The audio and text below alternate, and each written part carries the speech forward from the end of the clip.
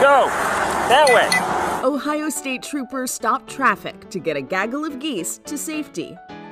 Body camera footage shows a trooper called for backup. Get back on, slow down traffic, and I have to chase these things across to the east side.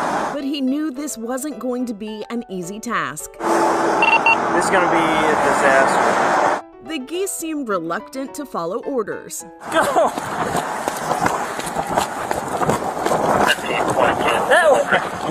That way! Even with the troopers' diligent work, there's always a straggler. After all of his hard work shooing, the officer's colleague had to bring the jokes. Why did the goose crush the